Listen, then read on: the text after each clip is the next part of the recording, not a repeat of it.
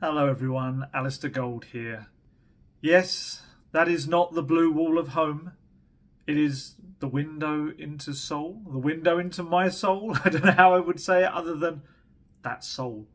Um, yes, I'm here in South Korea, coming towards, well, we're just past the halfway mark now in the tour. Um, I've got to apologise straight off because just underneath my hotel window there is a train line to the nearest metro. So once in a while you will hear a train rattling by. The cargo ones especially are the are the noisiest. Um, but yeah, thought I'd give you a backdrop. And also, I think the light balance probably makes my face. Uh, I think you can probably see the window better than my face, which is probably a good thing. So yeah, I'm out here in Korea. It's been very cool so far. Um, not the weather. The weather's been pretty warm, uh, mixed in with a few kind of. Actually, no. To be fair, we only had yesterday was a bit of a monsoon rain day. Uh, all the other days have been pretty warm. Um, yeah, it's it's an incredible city. It's like a real clash of modern and old school stuff. It's uh, yeah, it's it's been a, a, mad one. This tour is probably the busiest tour I've done. This is my fourth now, fourth summer tour, and this has definitely been the most manic tour in terms of Spurs events and places to go. And the time difference is interesting as well because I'm eight hours ahead of you guys in the UK right now. So it for me, you know, we're heading towards our night time uh, still got a little bit of light left. Um, what is it? It's about half past five. So yeah, a couple of hours left of light. Um, and yeah, Spurs have been very busy. Lots of appearances for players. Uh, we've obviously had press conference. We've had open training. We've had the match. Um, the people here are so lovely. They're so awesome. They're so friendly and hospitable and I just try and make to do everything to kind of I suppose make you feel at ease that's probably one of those cargo trains if you can hear it in the background I don't know um, yeah they've been lovely you may have seen a couple of photos doing the rounds of social media yes there was a very surreal experience for me um, when I've been kind of going back and forth. I'm not in the same hotel as the Spurs players. That that's a very fancy Spurs, ho- uh, very fancy hotel. Um, but what's happened out there, and they often this is the way on the tours, is that there's kind of um, barricaded off areas where fans will wait, and if the players come out, they might come and take a photo and do um, autographs and stuff like that. So when I went there the other night, there were a load of fans um, in one of the areas, Spurs fans, and they all started, or a lot of them started shouting "Gold, gold," because they weren't singing the the old song, but yeah, they were actually trying to get my attention they, they if you're wondering, they weren't being rude or anything. That they obviously in South Korea they turned the names around. It, it's said in a different way. So I'm Gold rather than Alasdair to them, which took me a little bit getting used to on social media at first. I thought they were just being, uh, yeah, uh, not as polite as they clearly were.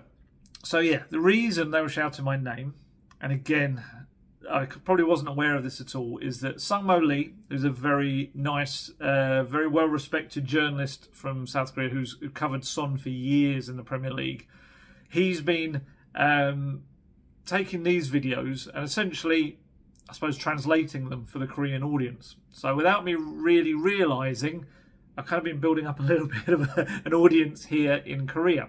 So any or a lot of the Korean fans who are also Spurs fans appear to know me which created this very surreal experience uh, the other night when I went to Spurs Hotel of being called over and essentially living the life of what it must be like for a Premier League player just for a fraction like, or for a couple of minutes um, because I was having to do lots of selfies and sign shirts, which is something I never thought I'd do in my life. And yes, I absolutely do not deserve such kind of moment to happen. It was very strange uh, very cool, very nice, very nice. Just got to live like a celebrity just for a moment or two, um, which was uh, yeah, which was very weird, but they're all very pleasant. And I actually had the most the bizarre kind of uh, experience of there were so many people trying to do it that security had to stop it. It's so weird, honestly. It's like you kind of I'm so not some pop star or anyone like that. I'm literally a journalist who chats about Tottenham on my sofa, which I'm now doing a sofa in a hotel room.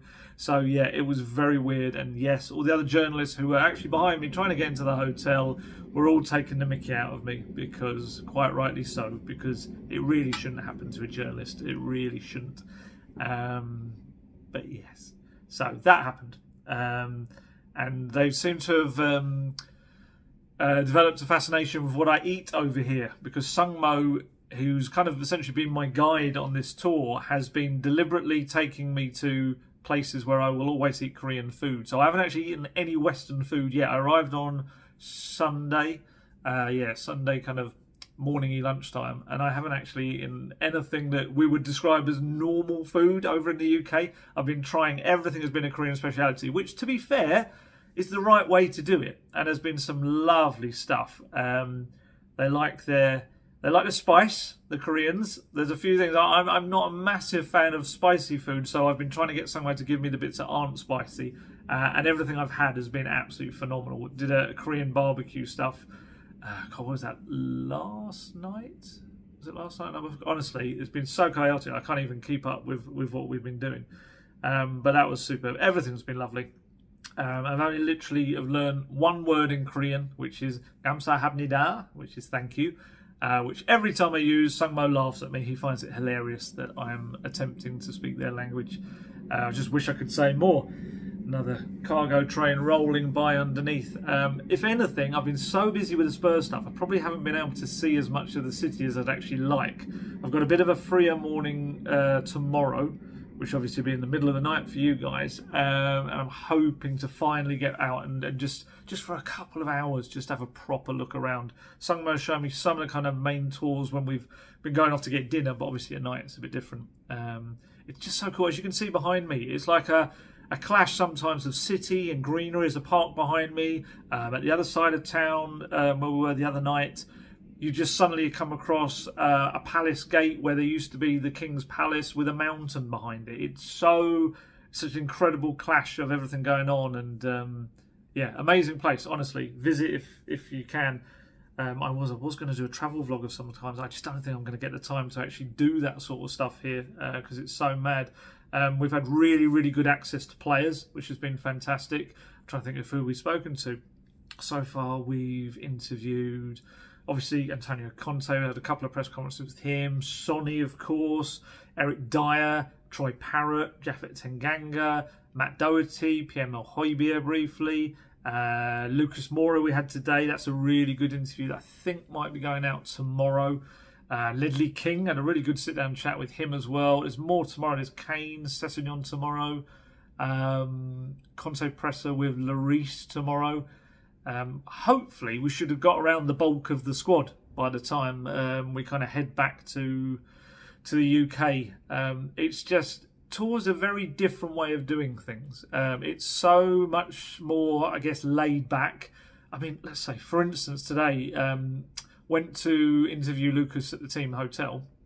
Uh, normally we do these at events, but once in a while we'll uh, be able to go to the hotel and just have a little chat with them because um, I think Spurs have. I don't think so, it might even be the whole floor they've got at uh, this hotel, but it's certainly a big old portion of it if it's not the whole floor. So yeah, so we went there today to see Lucas, and as you're going up in the elevator, the elevator doors open, and you know it was Eric Dier, Matt Doherty. Uh, ben Davies and Pape Matar Sarr all standing there waiting to get in the elevator. It's a very surreal experience. I was so, you know what? I even had a daydream earlier in the day that wouldn't it be weird if you went to the team hotel and you saw Matt Doherty in the lift? You could rate his beard. Um, if you if you're not aware of what that is on social, um, the players on the plane all decided to rate Matt Doherty's little goatee that he's got now. Um, I don't know whether he would have liked that or thought I was uh, an absolute plonker had I done that. And as it was, I was so like, oh, it's the Spurs players. I actually completely forgot to say it anyway. It probably would have been really weird in the company as well that I was in with a, a mix of other journalists and obviously these four Spurs players. But uh, yeah, it's a really, like I say, more laid back atmosphere. Conte is in a very happy mood, which is helping everything.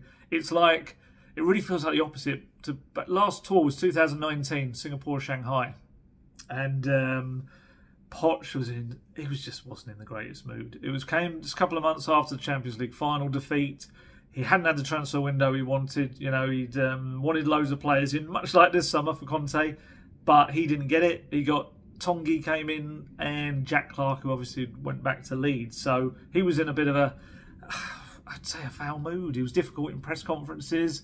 Um, we did have one nice evening. I think when he, um, I remember when he came down to the bar we were in in the hotel and um, had a chat with us all uh, for a good probably 20, 30 minutes. And then we later found out he'd put everything on his tab, which was really nice of him. Um, but other than that, yeah, he wasn't in the greatest of spirits. So this feels like the complete opposite. Conte has just been in a cracking mood. Like he'll come into the press conferences and he's walking out of them. He's like, "Hey," like that to us in the corners because he recognises our faces. It's been um, it's been nice. It's been a nice atmosphere. All the players are in good spirits when you talk to them. They're knackered. They are absolutely knackered from the training, which we'll talk about in a second. Um, but otherwise, they're all really excited. It's just excited feeling about what's about to happen this season.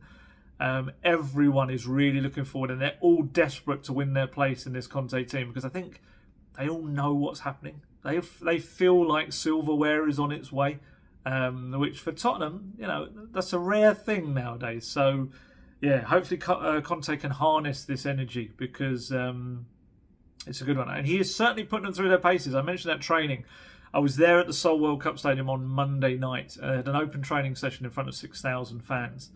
And oh my goodness, if you thought it was going to be a show thing for the fans, it was anything but. They did about an hour and a half, hour and 45 minutes of various drills. Um, started off with the obvious stretching, and then they went into what did they do? Rondos, pass and move, they did a 10v11 match with one goal, which was kind of more about shape.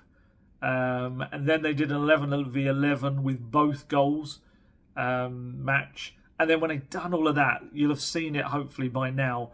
They did this crazy running thing, which apparently they do in almost every session now. So it's Gian, um, Gian Piero Ventrone, um, who is. Gian Piero. he's if you're not aware who he is, he's a renowned fitness coach. He's Tottenham's fitness coach nowadays. He was actually Antonio Conte's fitness coach at Juventus.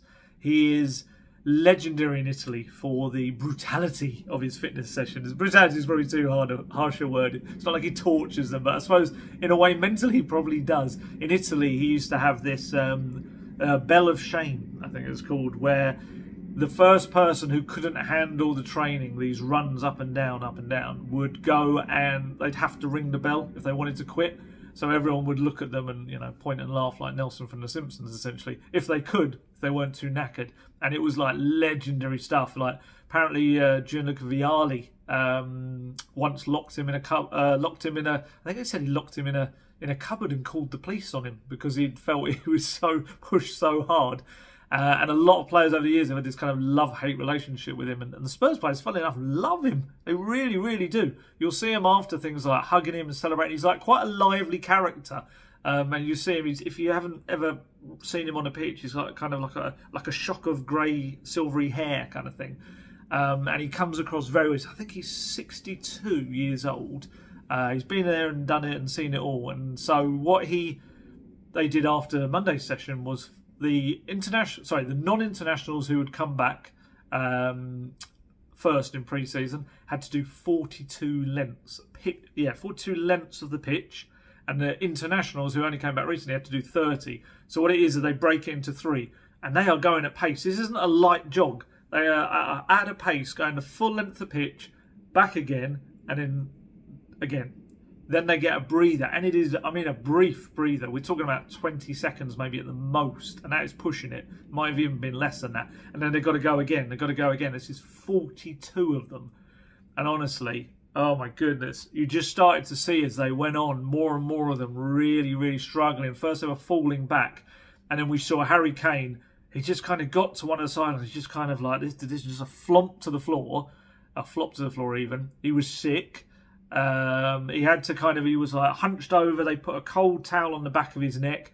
When a fitness guy, uh, fitness, so physio went over and he was kind of going over to check on him. But fair play to Harry Kane. it's kind of I guess who he is. He just kind of once he composed himself, got up and went back and do, started the running again because he had to finish. He wanted to finish the thirty that he had to. And don't forget, Kane I think only arrived on Saturday morning, pretty much for the flight from Heathrow. So he he hadn't been doing any form of like Conte's training before that. Um, Sonny as well. Sonny in the next, within the next three, I think, runs, he also kind of fell down at the end, and he was gone for a little while. Kane had to come over and uh, and pick him up, and it, as you can imagine, six thousand Korean fans all there. It just went silent. It was like, you know, remember your South Park used to go, you killed Kenny. It was a bit like, you killed Sonny. It was so, like, they were all like, what's he done? Conte's killed him kind of thing. Um, thankfully, he was fine. He just needed that moment to rest. And then he went back into the running again. Um, and then at the end, though, you saw when they'd done their 30, the, the ones who joined up, they were on that floor out of it. Sonny was like turned on his side, almost like a fetal position kind of thing. Uh, Bissouma, before we know what happened to him, he was like just lying there. Richarlison, I saw essentially on all fours, looking like he was maybe about to be sick. But you could tell that extra week's fitness for some of the other ones, they were flying. Like, um, who was at the front? Sarr, uh, Gil, and Davinson Sanchez were pretty much the three that were leading it for most of the way. They were super fit. Uh, Pape Matar Sarr, that was. And in the final lap, Troy Parrott steamed through and actually finished first out of everyone, and then the rest of the bunch kind of you could see the the interna- the non-international to come back early. They were kind of dealing with the 42. They were knackered. Don't get me wrong. They've got a really good interview coming out later tonight for you guys with Matt Doherty, where he talks all about it, and it's excellent. He's really really speaks well on it. There's a man who's he's very happy and settled now. You can tell the way he is. Um, he looks very happy. You might have been able to tell that from some of the videos that Spurs have been putting out. He uh, he clearly feels in his groove now at Tottenham. I think is the best way to say it. And obviously he's back from his injury now. Um, played last night as well. So uh, yeah, yeah, keep out an eye out for the interview. But yeah, the training. I managed to get a photo of it. Um, we, I just kind of snapped it as a lot of them were lying on the floor, absolutely out of it, and because I don't think the official photographers at the end were really taking photos of that, because obviously it doesn't show them in the great light, I guess. But as journalists, we have to report on what's happening. So I think the image I took has ended up everywhere. Seen. I think people were telling me it's on Sky Sports, it's in all the various newspapers have been using it, um, which is fine. Which is fine. I guess it kind of it summed up the moment. Um, but yeah, I understand. Like Conte is, uh, you know, I don't think he's I don't think he sees what the fuss is all about. Um, we might we didn't get a chance to ask him the other day, but it'd be interesting to maybe if we get a little sit down chat with him in the next couple of days to ask him about it. But from what I get, I think he just sees that that's training. That's what I used to do under Ventrone. You guys can do it as well. Um, but yeah, there was a there was a really insight. Often training open training sessions they are a bit for the crowd. They can be more for show. Often when we do Champions League ones, we only get 15 minutes at the beginning, and so you often really only see what they want you to see of, of more fitnessy stuff. Um, however, this was two plus hours of a real training session. It was uh, involving shape, drills, and stuff like that. But obviously, also this real um, ridiculously hard-looking uh, runs at the end, which, yeah, I, have never seen Premier League footballers and these are elite athletes looking like that. It shows that all of the Instagram stories and the personal trainers over the summer and everything didn't prepare them for this. I wonder whether next summer they'll be telling a lot of these personal trainers, yeah, we're going to have to ramp it up a bit. Otherwise, I am not going to be able to handle that first week coming back. Um, yeah, I think they're going to be one of the fittest teams in the Premier League, maybe the fittest. Uh, looking at the way the way he's working with them. So yeah, that was training. That was certainly interesting. Then on Tuesday, I had the pre-match press conference, which was Conte and Sonny, um, which is a very different experience to the ones back at home. Uh, it was rammed with about 100 members of the media. There were, what was there, four of us from the UK, Sung Mo as well, and pretty much I'd say 95 members of the Korean media and all the photographers in the front, the broadcasters with their cameras at the back. Um, it was at the Seoul World Cup Stadium. It was the reason I say it's strange was just, I guess, the format. I say strange. It's probably not strange in any way, shape, or form for them. And if they came to UK press conferences with our embargoes and different sections and things like that, they'd think, what the hell is going on here? So, yeah, I understand it's absolutely a cultural thing. Um, but here, they they had the Team K League, which was the team Spurs were playing, which was a an amount, you know, it's essentially like an all star 11 of the K League, which is currently playing. So these were kind of quite fit, sharp players yesterday in the match. So it was the boss who was Kim Sang Sik. Yes, I've written these down so I don't mess them up uh, and two of the players, Kim Jin Soo and Lee Sung Woo. Uh, so, sorry, Lee, Lee Sung Woo. I still messed up. Um, so Kim Jin Soo is one of Son's best friends, just so you know. And Lee Sung Woo, um, he played for Barcelona at youth level, played for Hellas Verona in Serie A as well. So I think he's pretty much considered probably the best, one of the most popular players anyway in the K League. Um, but what was interesting was that almost like the Korean media saw them as not the main event, I guess. Um, when you talk to people over here, Korean people, they when you ask them who they support, they will often say a European team. Maybe their own domestic league isn't seen as quite the having the same draw, I guess. Um, which is strange, obviously, when you when you go to different countries and, and you realise how big the Premier League is and stuff like this. So yeah, and that kind of awkwardly resulted in this press conference where there's a moderator and the moderator kept going to the room for a question and nobody was asking a question. So he kept kind of having to fill in any gaps with his own questions uh, which was yeah strange. You'd have thought they'd want to ask and it sounded like a really good press conference. They were all laughing away and stuff. But unfortunately for that part of the press conference they didn't translate it. So we couldn't ask a question either which didn't help. Um, but yeah so they obviously did all their thing. Um, and then it was the turn of Conte and Sonny to come out which as you can imagine, cameras went wild. Uh, just cameramen suddenly snapping away, um, and so we kind of we readied ourselves because we, you know, UK media. We thought, okay, there's going to be hundreds of attempts to try and get questions in here for Sonny. Do you know how many questions Sonny had? One.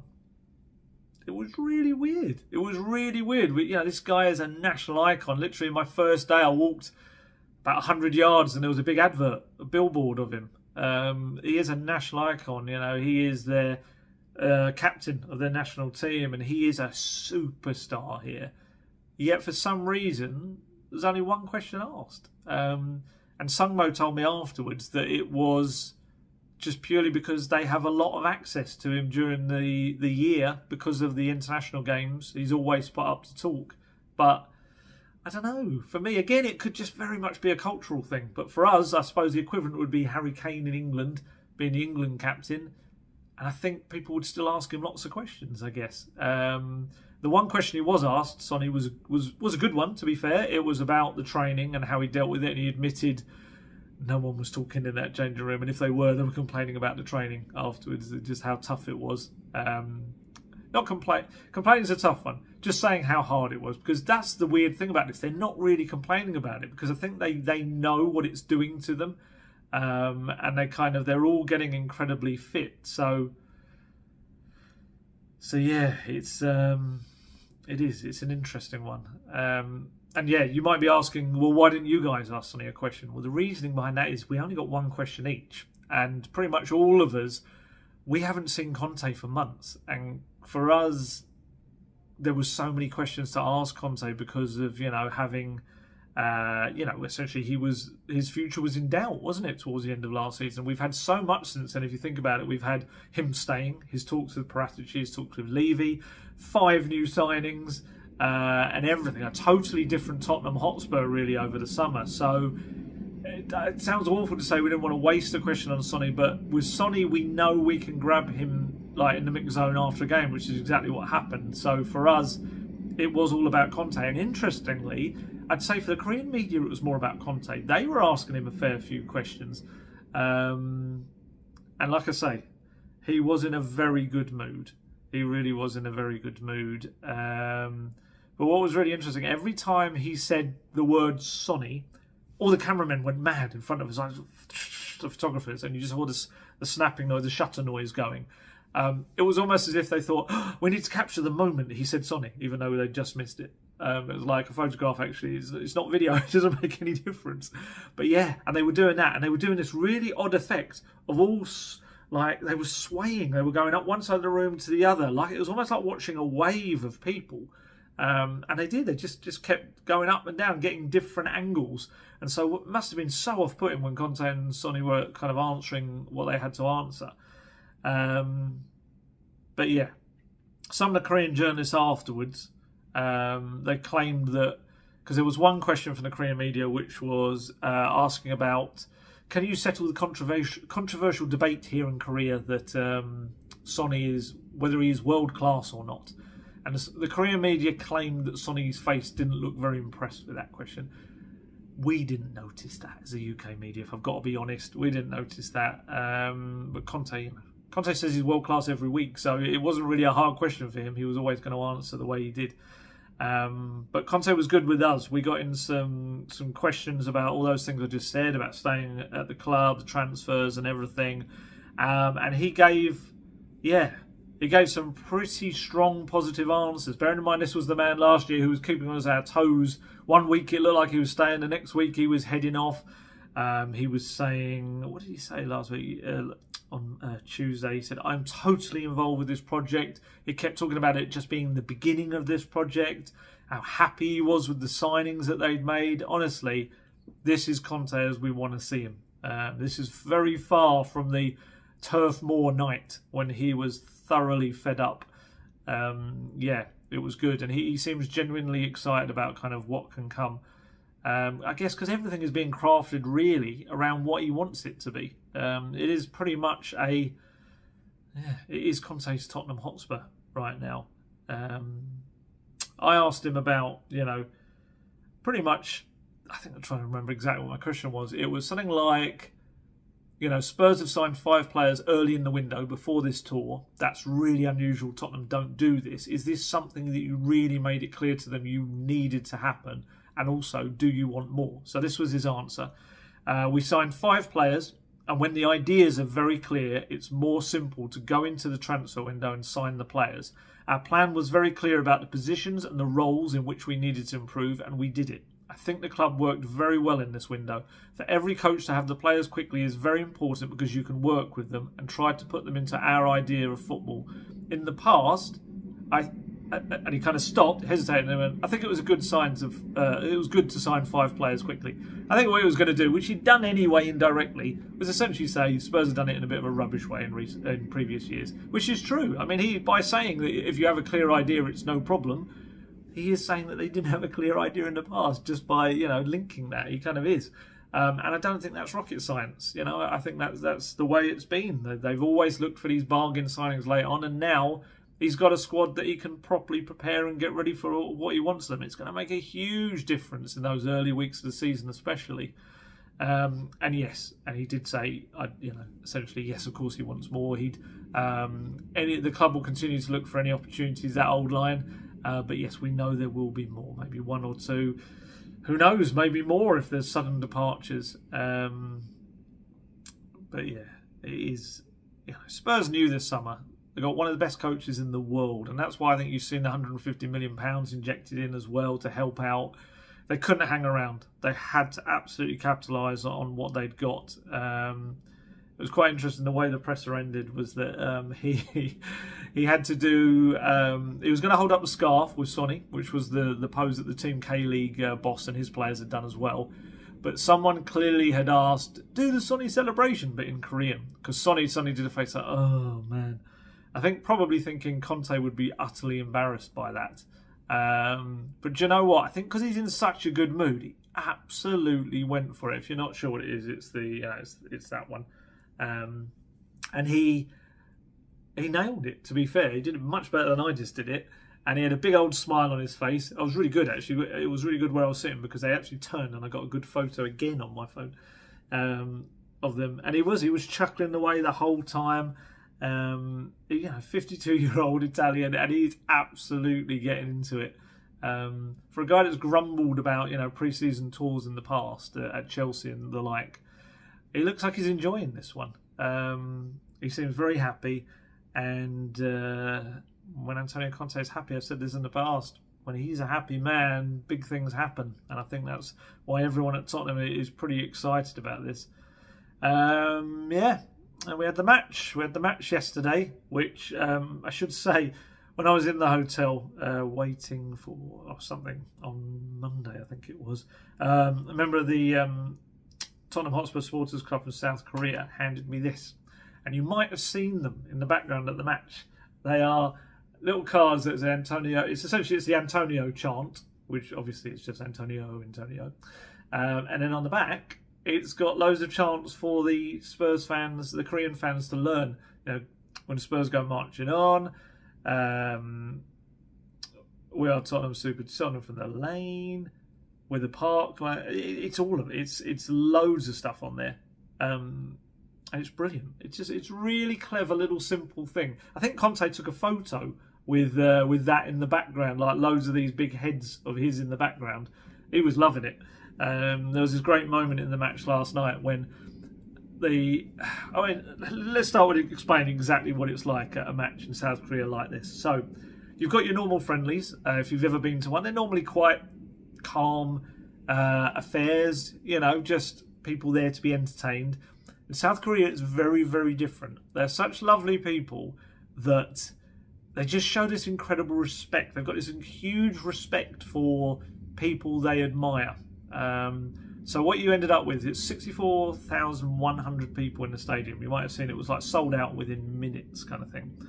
Um, they are the most passionate set of fans, probably, or certainly one of the most passionate I've seen out there. And they just have this appreciation of every little moment. So here's an example for you. So early on, Cristian Romero went down. Um, some kind of not. I think it was like a heavy fall in the air uh, from an aerial challenge. And when he was kind of needing treatment, everyone was like, "Oh!" It was like this real kind of "Ooh." And then when he started to get up, the stadium announcer said, "Let's give a big hand to Cristian Romero," kind of thing. And just everyone started applauding. It was like it was a really nice moment. And we thought that was kind of maybe like a one-off the UK journalists, you know. But actually, every time a player did something, and even probably things that we'd maybe see as the most basic things, so say Pierre Højbjerg in the second half did a sliding tackle and the ball went out of play on the in, on on the side of the pitch, not near a goal or anything, and suddenly the Tannoy would go Pierre Emile Højbjerg, and they would all applaud because he'd done that. Um, there were some moments when like Sanchez tried to get a ball out and missed it. Oh, sorry, tried to stop a ball going from a corner, but it did, and he missed it. And it was still like Davinson Sanchez, and they all applaud. It's such a a surreal experience, and it's just I don't know. It's it's just about respecting what the players are doing, and it is a far cry from what we're used to on the terraces. You know, most football watched apart around the world, really.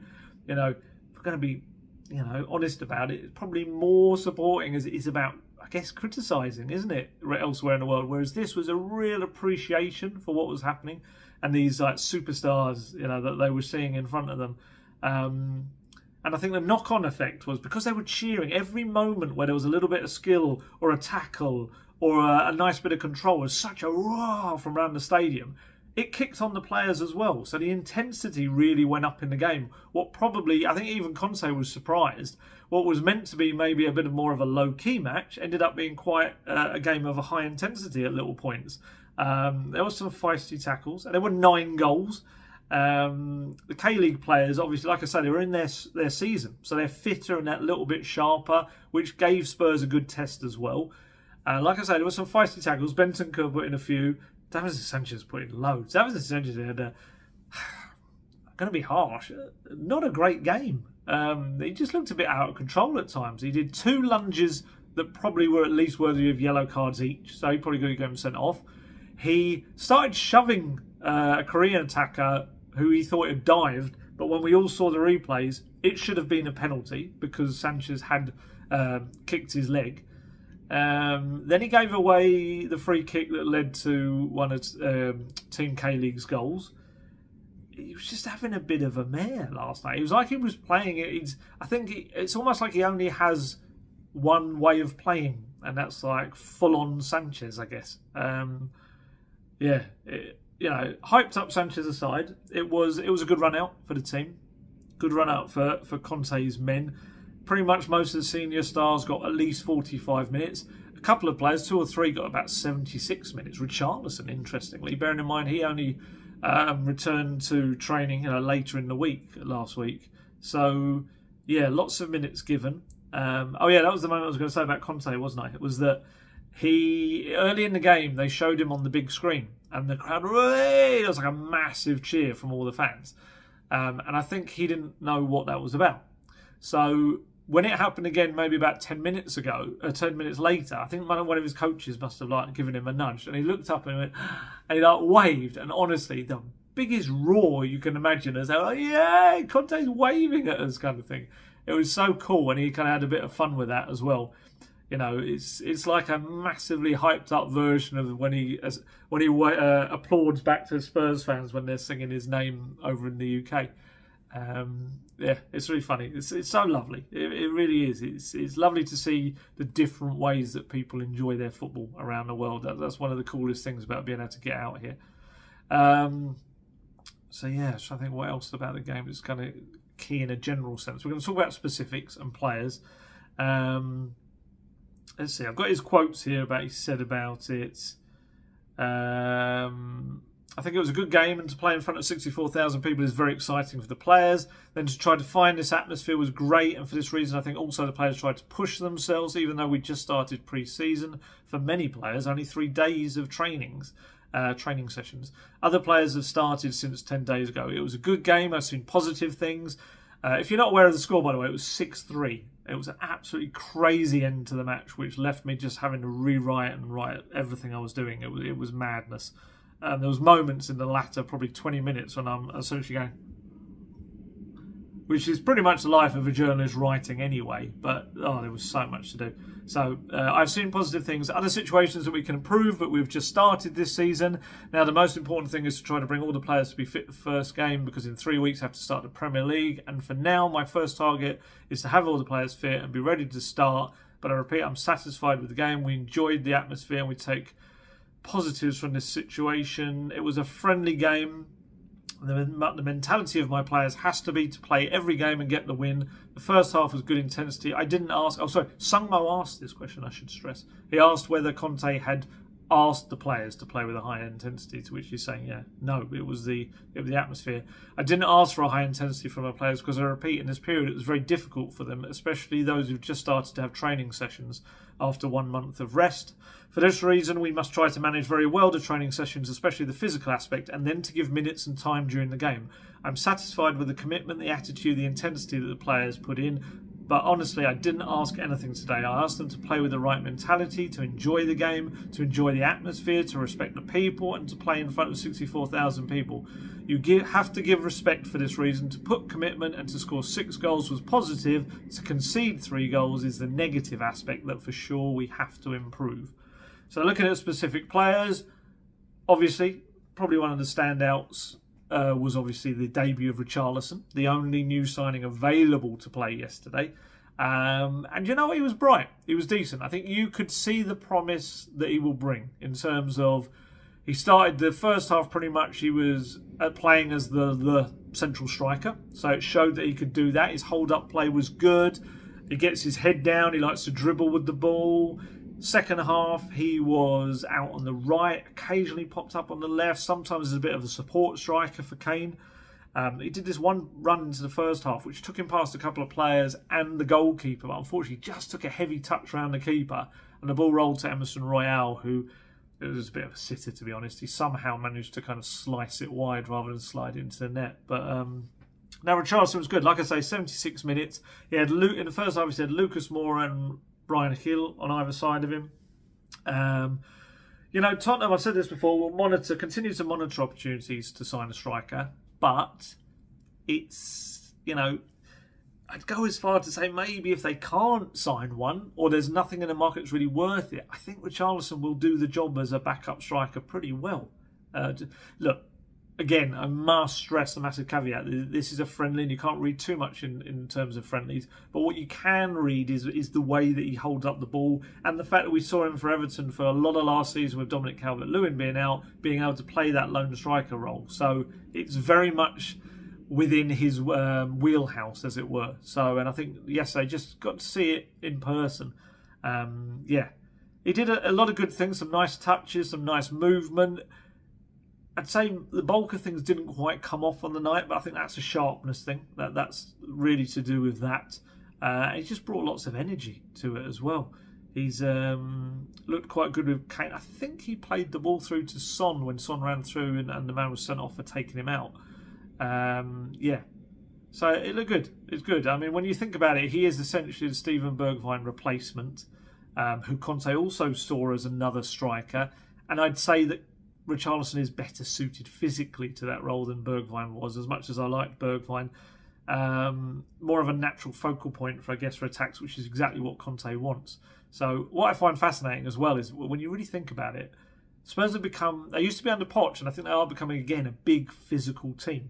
And I just think maybe subtly, Conte has been upgrading certain players with bigger versions of them. Um, obviously, people may say better versions, but certainly physically, there is no contest. I mean, I was I was thinking about it. So you got Richarlison replacing Bergwijn, it's a bigger physical player. Kulusevski, Bryan Gil, you know, bigger physical player. Even Perisic for Sergio Reguilon, same again and Yves Bissouma for Harry Winks. It's like he's just kind of gradually been going, okay, I want a bigger version of you, a bigger version of you. And, and we know it's what he wants. They are going to be a threat from set pieces, and we're going to talk about set pieces later because a certain Gianni Vio, his presence was felt yesterday as well.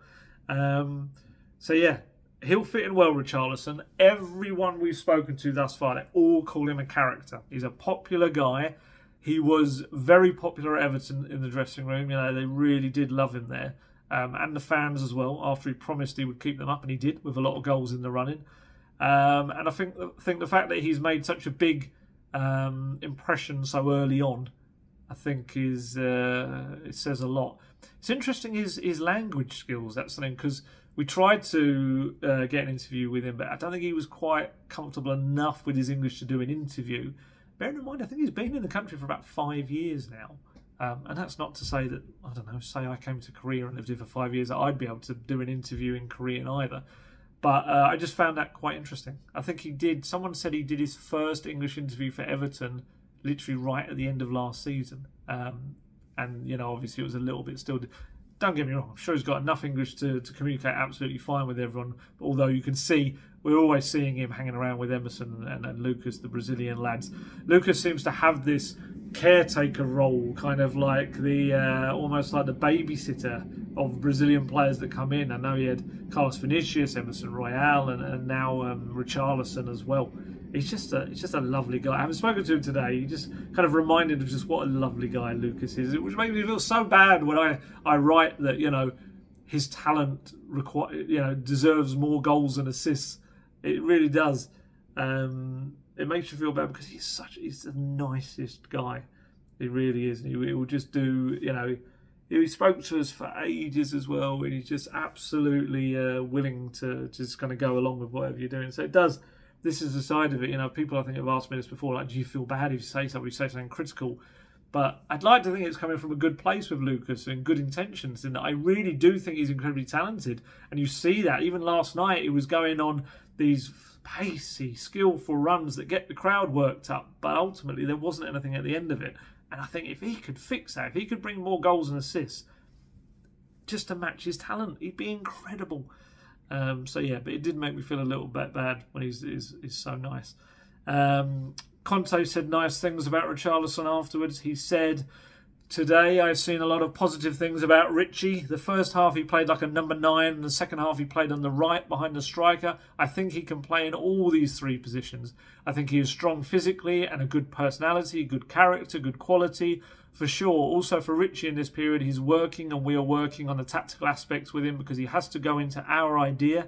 At the same time, we have to work on the physical aspects for him to be fit. But for sure, he is a player that gives me important positions up front. Um, I think that should be options up front. But I think that's what he means anyway. He's a player that is a good player, strong and very good to protect the ball and attack the space. Also, he made a good assist. I think he means for that attack that led to the red card.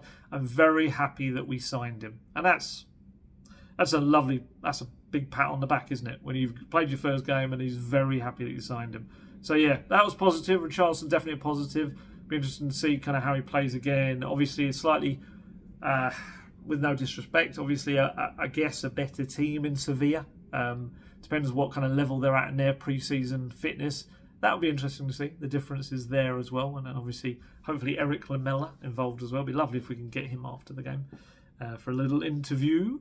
Um, what else? The younger players. There are a fair few younger players out there. Conte is making this an older squad, but actually, there's quite a few younger players in there, um, kind of dotted around. So Bryan Gil, we spoke about him earlier. Obviously, sent packing back to Spain. Um, he, do you know what? He was quite bright last night. It was good. Maybe just fluffs the ball a couple of times in the training session. He had so many in the match uh, they had in the training session he had so many moments in front of goal where he just maybe mis uh, connected badly with the ball or, or hit a weak shot. That's just one area of game he has to fix. I think is when he gets into that final third. It is the um, it's that final touch or, or the shot. But he was one of the brighter players. It was his one-two with Eric Dier. Uh, that Eric Dier scored that cracking left foot rocket of a goal. Very nice goal. Um, yeah, Gil was good it's difficult with him. Unless a big permanent offer comes in for him, I presume he'll head out on loan again. Um, I just, I'd love it to not be Spain. I know that sounds bad because I obviously think he'll be so happy and he'll flourish in Spain, but I just think he needs to adapt to a different kind of league. I'd love it to be the Premier League. Maybe the Bundesliga is very similar, but I get the impression that most of the interest seems to be coming from Spain and a bit from France as well. So, um, but like I say, very fit. He was one of the ones leading the way in those 42 pitch long runs. Um, Pape Matar Sarr, we got to see him in the first time in a Spurs shirt after signing last summer. He was, you know, you got to remember he's only 19. And like I say, I saw him kind of getting into the lift earlier he looks like he he looks like a boy. He does. He looks like a, and this is meant with no disrespect. He, he looks like a 19 year old. I think sometimes in our heads we kind of think of players as being a bit older uh, than they actually are, but he looks like a 19 year old. He's got a big frame, so I'd imagine the case with him now will very much be just, I guess, filling out as naturally, uh, you know, guys do when they're that age uh, because I think he'll need to bulk up a little bit to be able to handle the Premier League and the physicality of it. But um, yeah, he, he, was bright. He showed a bit of energy.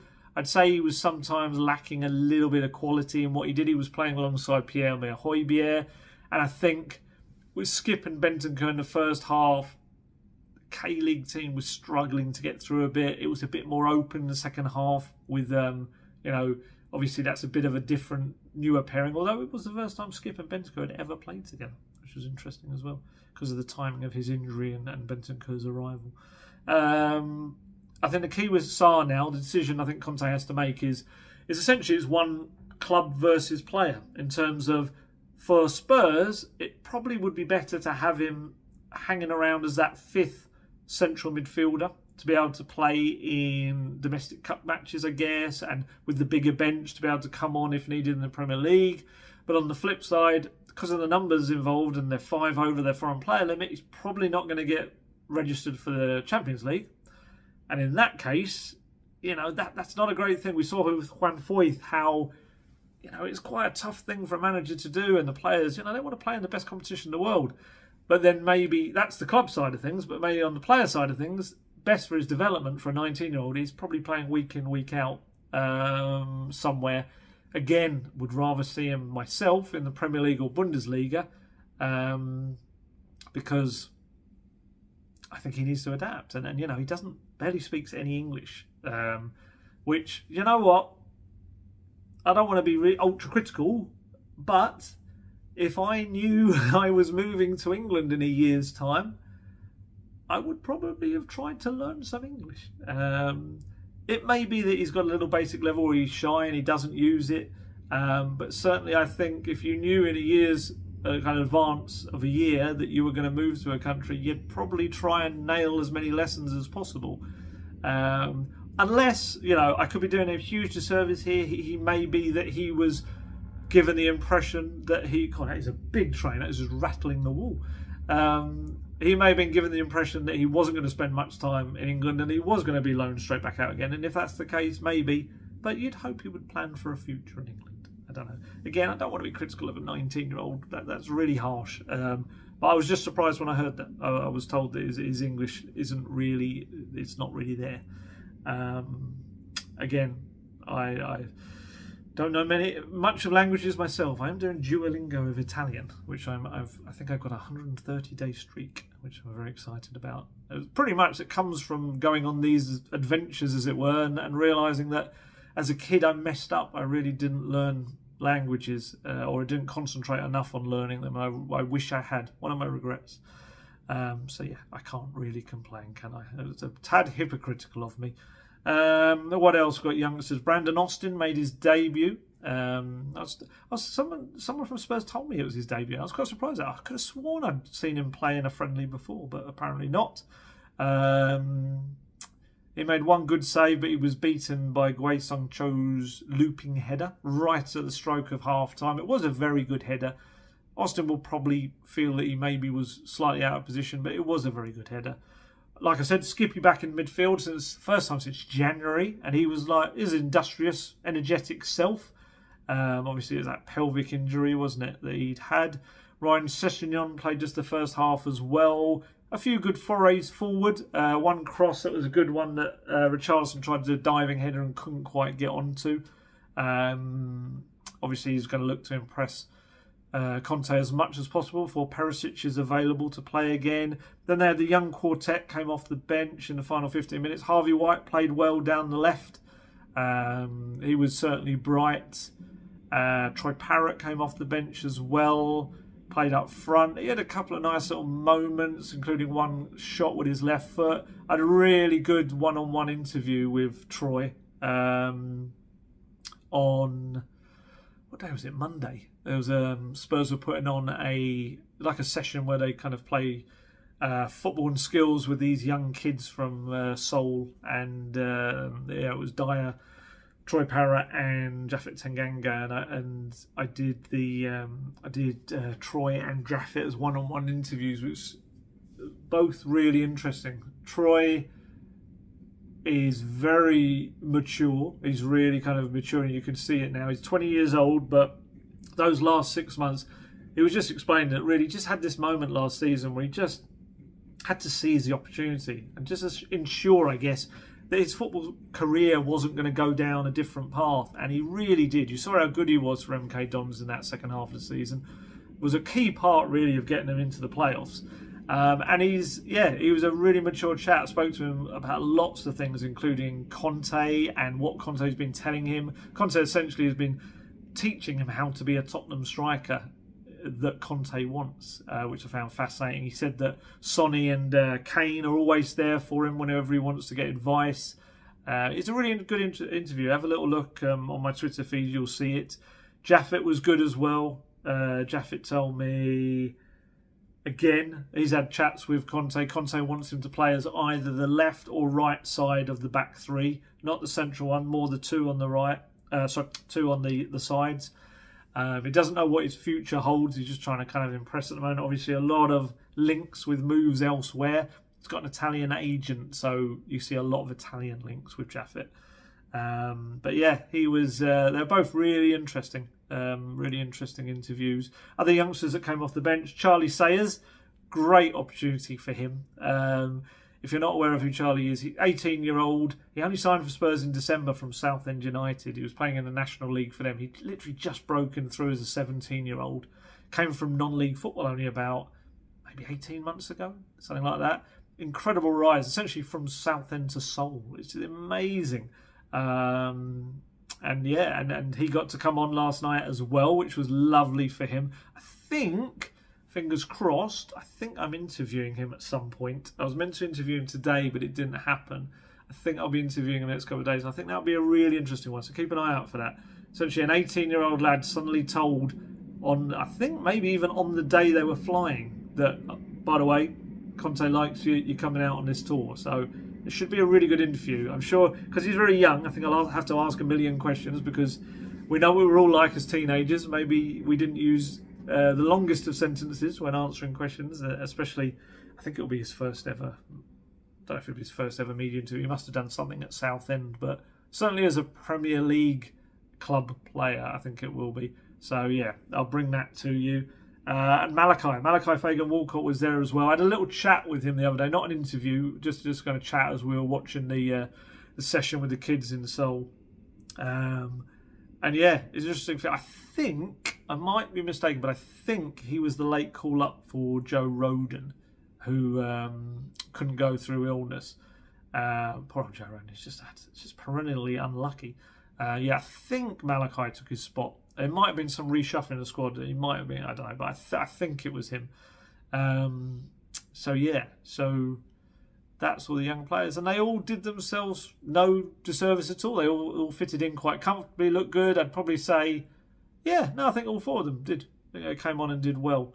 Um, but you know, the star of the shows really were. It was the Kane and uh, sorry, the Son and Kane show. It really was.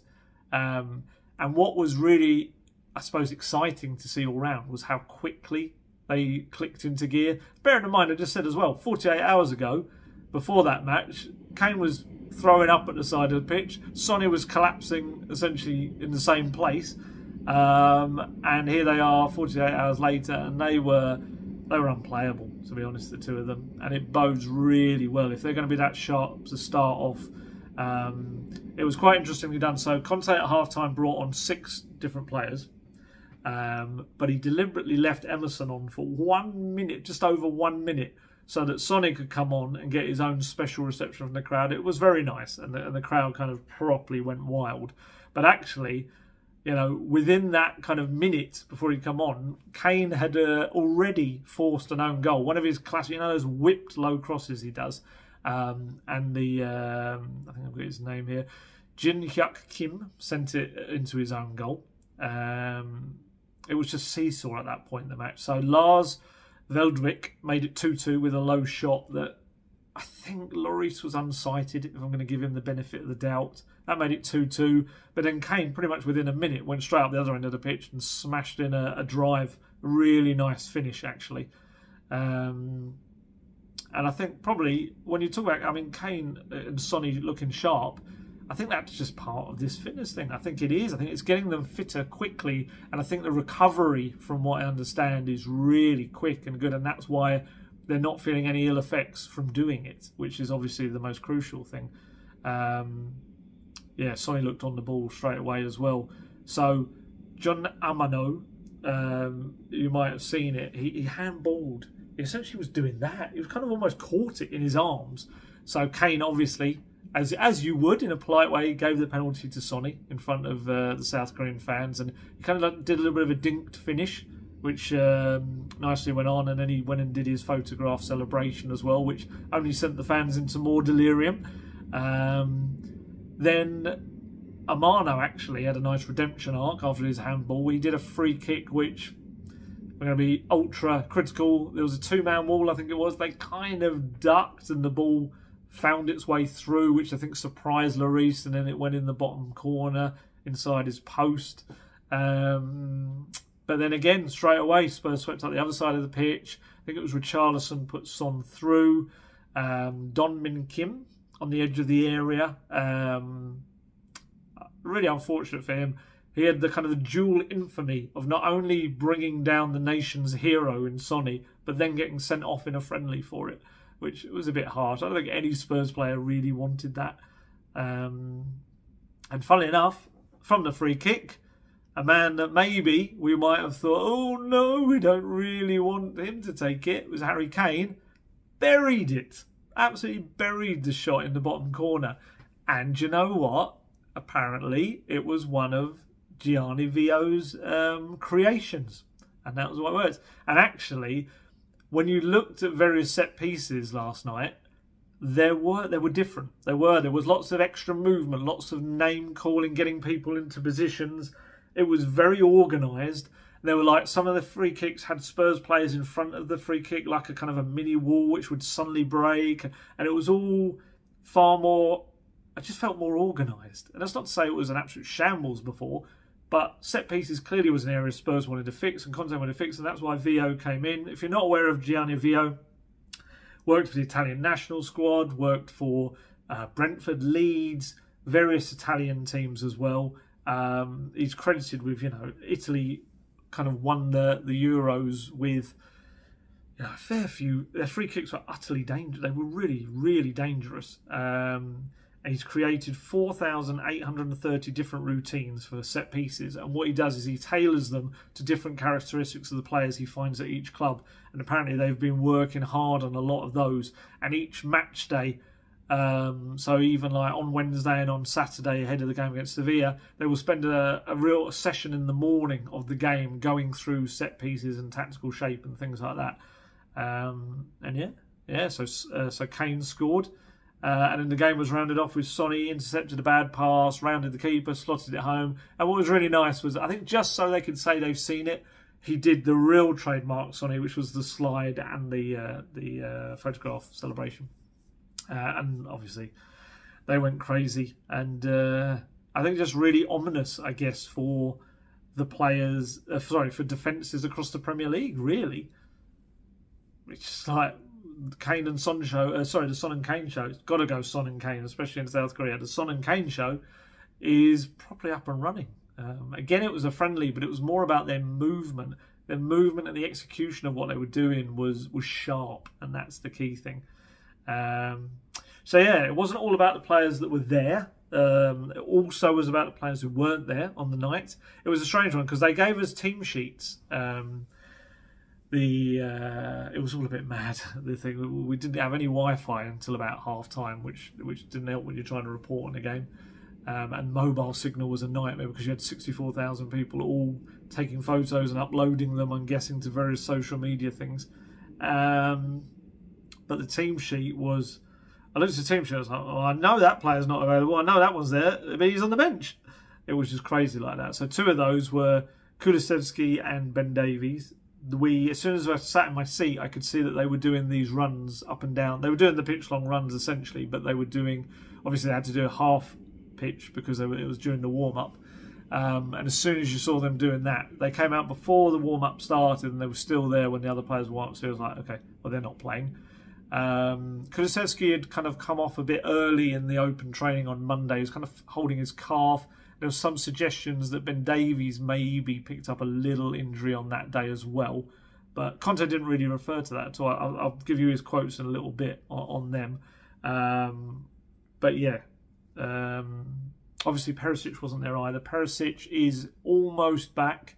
Um, Conte told me, as I'll tell you in the quote in a bit, that he's likely to return to do some training today. He was likely to come back. He's been doing fitness work, but just not ball work uh, but I think he was going to do some of that today.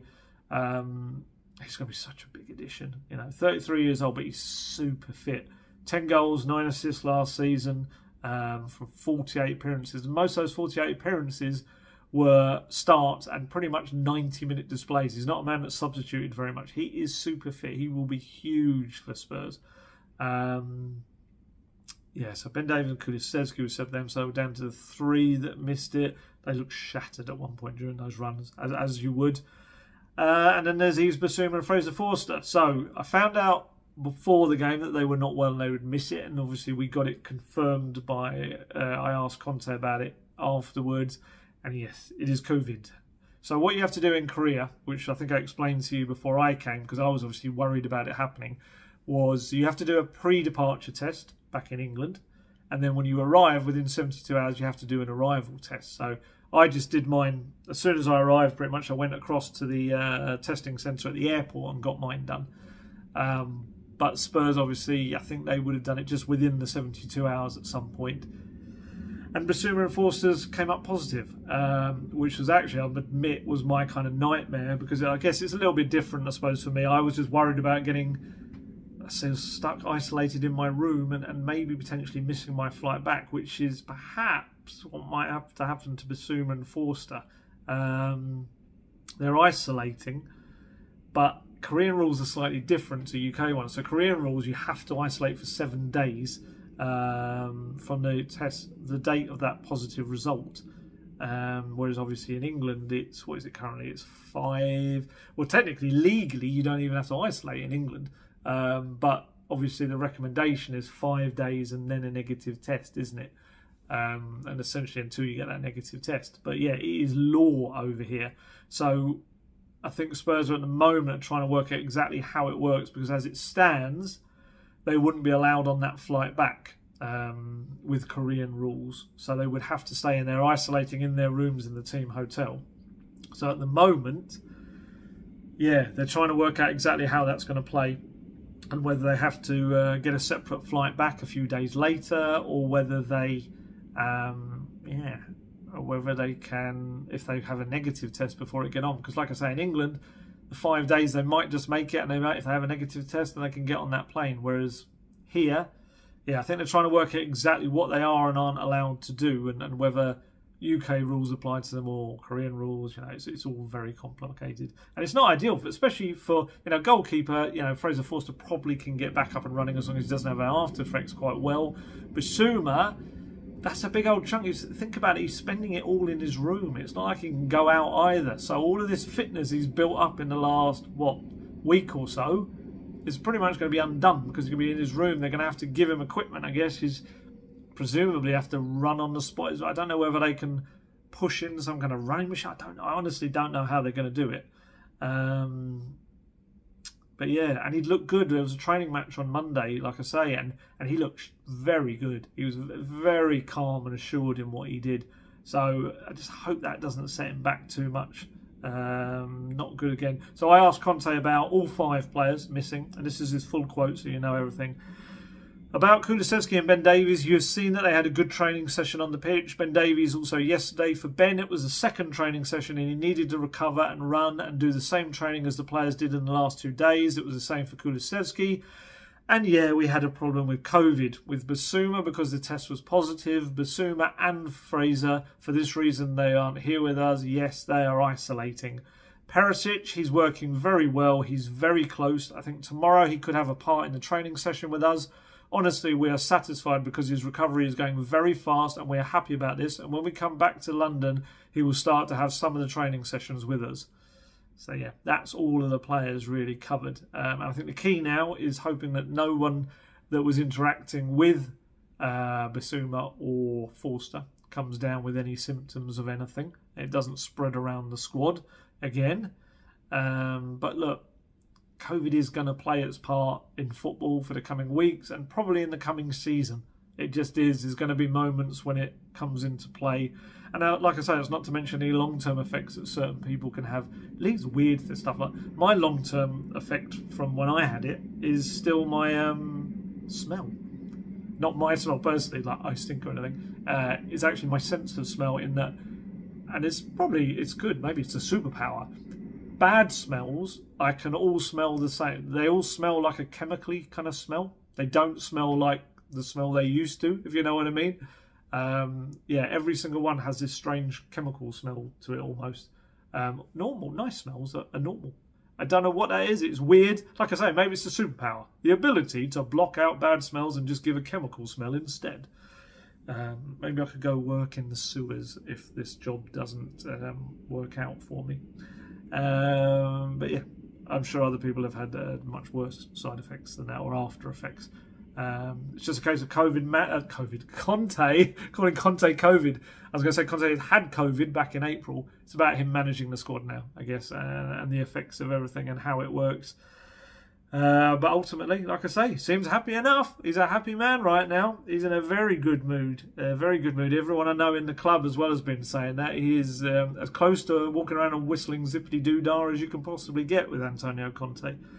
So what else? Other little housekeeping things, transfer stuff. Jed Spence, no movement at all. I asked around about him today before I did this video. No movement on that. Again, I can only stress the weirdest coverage of his transfer ever, or maybe potential transfer. I think he's not been involved with the pre-season training. I can't remember what it was. There's something with Middlesbrough, or maybe they didn't take him somewhere. I can't remember.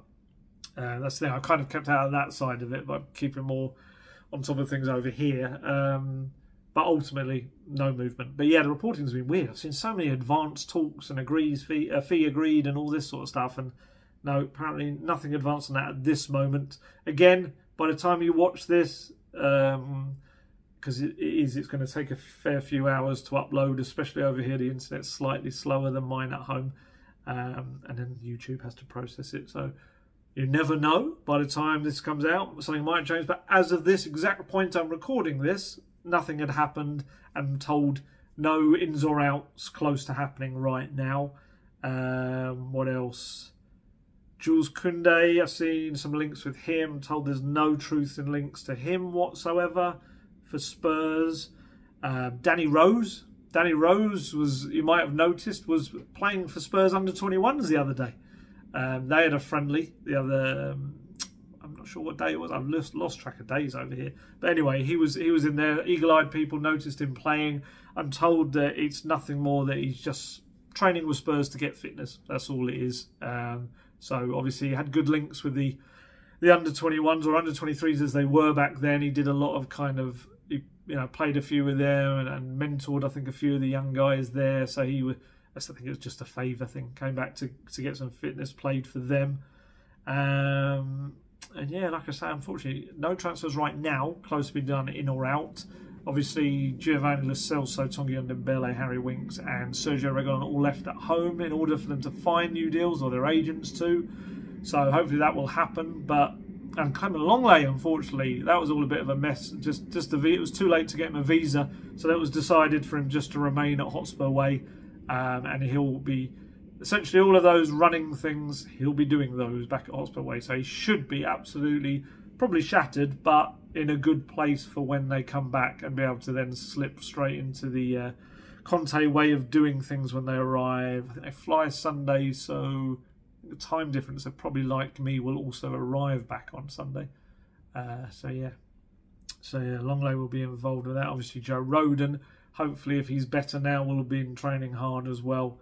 Um, and of course, we lost Steven Bergwijn left, as I spoke about him probably enough in the last video. Jack Clarke also gone uh, to Sunderland in a deal that is pretty nominal fee for now. But if he were able to do everything, all the performance-related add-ons, could get up to 10 million, which actually is more than they bought him for. There's a lot of ifs, um, but if he does, it would be 10 million.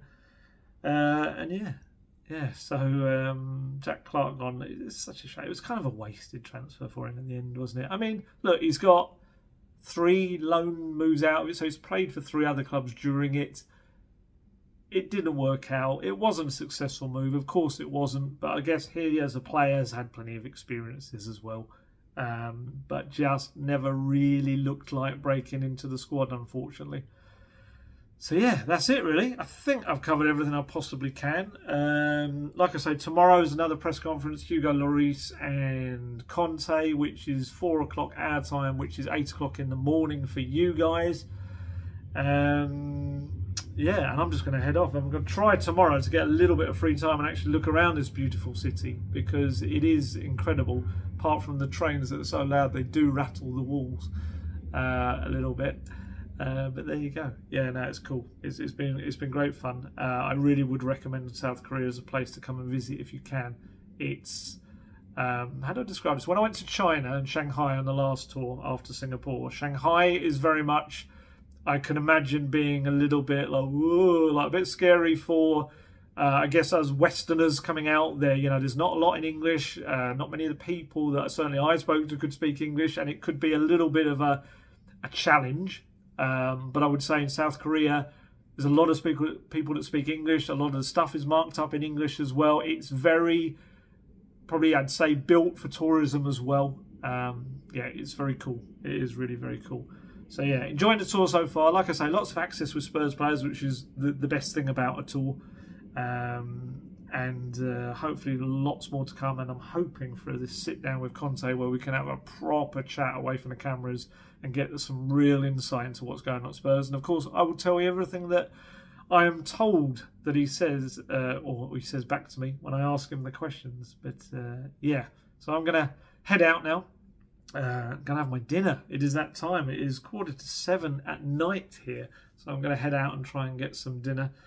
Um, yeah, some late nights. My body clock was completely messed up. Um, I thought I'd done it all perfectly. I deliberately almost stayed awake for two days so that I could fall asleep the first night. And then I'm finding the last three nights in a row, I'm pretty much up till about two or three in the morning and then having to sleep till about nine. Uh, and then as soon as I get up, I've got work to do so that I set up morning lines for the next day. Uh, and then all the events start don't worry. I'm not saying it's a hard life because yes, I'm very aware that I'm on tour in South Korea with Tottenham Hotspur, and it's a very fortunate thing to be doing. But I'd like to think I work hard as well. Uh, so there you go. Right. Anyway, on that weird note, uh, I'm going to head off. Um, the next video probably will be me back in England. I'd imagine. Um, will be yeah early next week. I'd say maybe Monday if I'm not too knackered from the flight back. Um, and we'll have plenty more to talk about. So yeah. In the meantime stay healthy, stay safe, look after yourselves, and I shall catch you later. Goodbye.